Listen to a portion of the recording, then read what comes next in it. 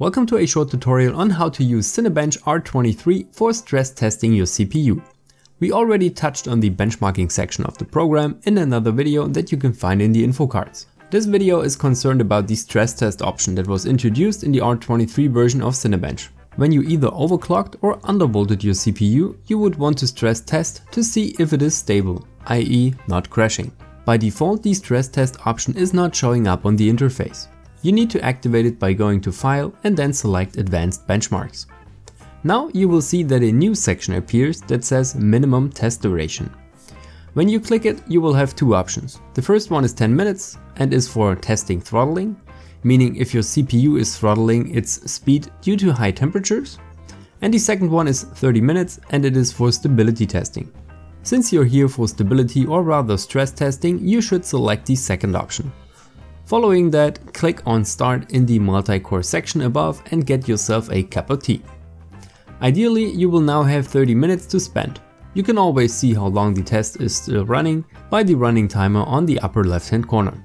During the stability test session, you should monitor your temperatures and especially if your CPU is throttling because of too high temperatures. We recommend HWinfo for that task. Check the linked video for a quick and gentle introduction for that very helpful tool.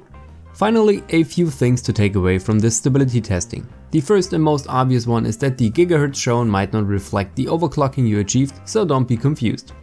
The second takeaway is that you shouldn't rely on Cinebench stress test for test stability alone. You might also want to check the classic Prime 95 and in case you have an Intel CPU, the Intel burn test. Both are linked in the info cards. In recent times, Intel burn test is a more convenient choice for a number of people that don't want to run a 24 or 48 hour stress test. The third takeaway is that even though stress tests are important to see if your CPU or rather whole system is stable, there might be scenarios where it is not in everyday use, like gaming or video editing. So there might be a chance, even though a very slim one, that the system is stable in regard to Cinebench or Prime 95, but it clocks out at gaming. I've had that problem myself, the system was stable with Prime 95 but it crashed randomly playing Battlefield 5. Memtest finally revealed faulty RAM that for some reason was not an issue with stability testing.